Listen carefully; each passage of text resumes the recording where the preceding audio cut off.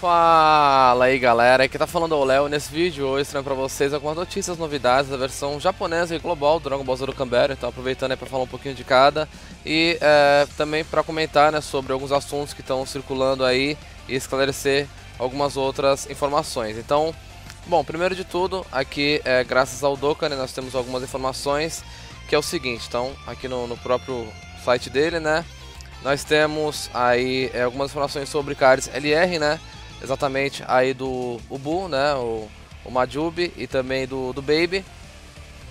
Então, primeiro é o seguinte, é, um novo Ubu aparecerá, é, que terá Dokkan para LR, né, Dokkan Awakening para LR e se, transformar em, se transformará em Majubi. E é, talvez esse seja o tão aguardado LR do Battlefield, né? Tivemos a informação um tempo atrás né, de que o, o próximo Battlefield teria aí um card, um novo card LR, né, para ser adquirido e tudo indica que vai ser esse card aqui do do Ubun, né, e com Dokkan Awaken aí para para Majub. Então, uh, vai ser no mesmo esquema do do Ginyu físico, né? Um card SSR e aí você adquire as medalhas da Dokkan Awaken e ao final ele vai até a forma LR.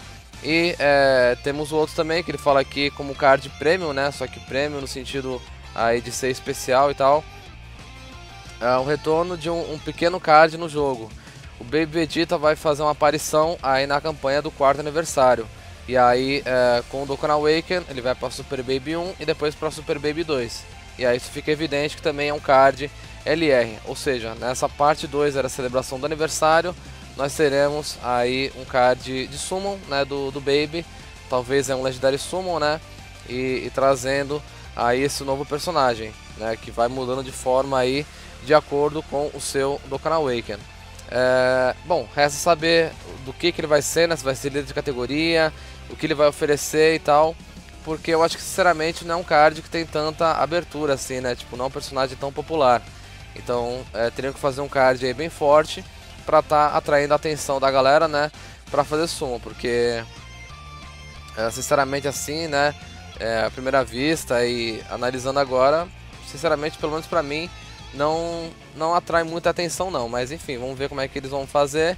E esse card aqui do, do Ubu, né, vamos também aguardar para ver exatamente o que ele vai fazer, né, e se realmente vai ser útil, né. Uh, tivemos aí o Metal Cooler que, LR, né, que é um card muito bacana. Então, alguns cards gratuitos que são muito bons. Vamos ver se o Ubu realmente aí representa. Mas é, eu acho válido, tá? Porque o outro card dele é muito ruim, né? O outro SSR dele. É, no Dokkan Wake até tentaram dar uma melhorada, mas mesmo assim não adiantou muito. E eu acho que é bacana trazer um card novo pra ele. Né, um personagem aí que não tem tanta. É, não tem tanto mom tantos momentos aí na série, né? Mas acho que é um, um cardzinho legal de ser explorado. Então vamos aguardar pra ver aí é, o que vai estar tá trazendo. Mas é, por enquanto não tem uma data específica, né? Vai ser na parte 2. Então aí mais para a segunda metade né, do, do mês de fevereiro que vai estar tá chegando. Então, aí nos próximos dias, ou na próxima semana, deve estar tá aparecendo alguma coisa a respeito disso. E é, tem também uma outra questão, né, que é um, uma, uma live que a, a própria desenvolvedora vai estar tá, é, trazendo, né, vai ser no dia 14, uh, ah, na, na manhã, né, aqui pra gente vai ser na manhã do dia 14, né, às 7 horas. Então é, vai ser uma live aí para comentar sobre a parte 2 do aniversário, né? E comentar algumas coisas e tal.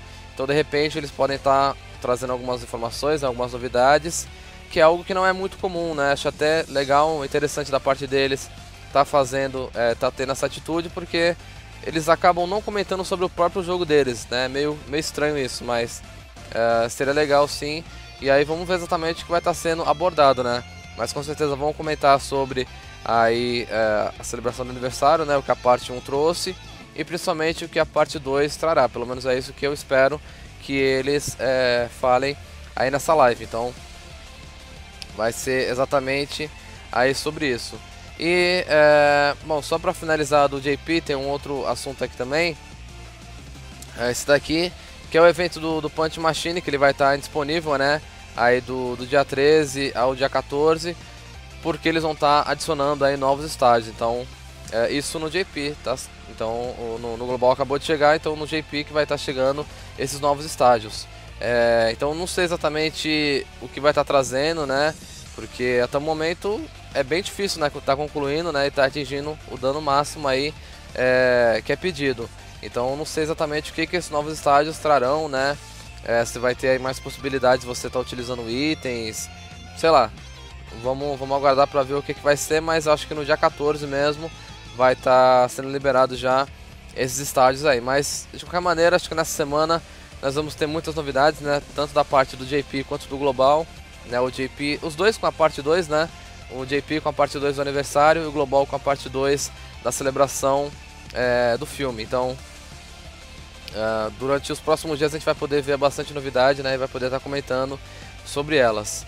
E, e bom, do JP é isso. Então, esses novos cards aqui do LR, né? Do Majub e do, do Baby vão estar aparecendo aí em breve. E também é, um novo estágio aí do, do Punch Machine e também essa live que eles trarão aí no dia 14. Então acho que o dia 14 vai ser aí bem é, importante, significativo para essa celebração aí do JP. Bom, e finalmente em relação à celebração aí do filme, né, e o banner em si, que a galera tá se matando de ansiedade e também perguntando, então definitivamente a pergunta aí do mês, né, quando chega o banner do Godita e Broly. Então, é, ele fala aqui, faz até uma brincadeira, né, com o Dia dos Namorados, que parece que o, o banner vai estar chegando aí próximo à data do Dia dos Namorados, que eu não sei lá fora que dia que é, mas deve ser perto disso, aqui no, no Brasil é em outro momento. Mas ele faz até uma brincadeirinha aqui e fala que é, espera que o banner apareça no global no dia 13. Então é, o Kawhi aqui até é, reafirma isso, porque aqui nos arquivos do jogo ele fala que é, o, o banner, né, a imagem aqui do, do evento do, do filme do Broly, ele vai estar tá se alterando aí no, no dia 13. E quando houve essa alteração foi porque chegou a parte da celebração, né? E trouxe também aí o, o banner do filme, né, o X-Music Battle do, do Broly e tudo mais. Então, é, eu acho que realmente aí no, no dia 13, né, na madrugada do dia 13, vai estar tá chegando aí todas essas novidades, né? É, a parte 2 do, do evento, os banners, o X-Music Battle, enfim, tudo isso que a gente está aguardando. Então, vamos ficar atento. Mas é, nessa semana mesmo, aí é, amanhã, os próximos dias, nós saberemos né, os detalhes sobre a celebração e aí vamos ter aí todas as informações, né, a respeito de datas e horário que vai estar tá chegando os banners, os eventos e tudo mais que vai estar tá contemplando aí, né, nessa segunda parte da celebração do filme. Então, é, acho que é mais ou menos isso. Então, algumas informações aí é, bem básicas, mas importantes, né, e que vão é, se estender aí por alguns dias. Então, sobre o Global e JP é basicamente isso. Então, dois novos cards LR para o JP essa live aqui que eles vão estar tá fazendo, que eu espero que tenha alguma coisa de útil, né, para eles estarem mostrando. E é, também o, o Punch Machine, né, e as coisas do Global, né, o banner e tudo aquilo que a gente está aguardando já há muito tempo. Então, uh, é isso, tá bom? Então, é, comente aí o que vocês acham desses personagens, né, o que eles vão estar tá trazendo aí. E finalmente acabou a dúvida, né, de quando vai estar tá chegando o banner do filme. Vai ser exatamente nessa semana, tá bom? Então, para esse vídeo aqui é só, vou estar encerrando por aqui. Espero que vocês tenham gostado e se gostarem, não de deixar aquele gostei e se inscrever se não for inscrito no canal. Vocês estão ficando por aqui, falou e até a próxima.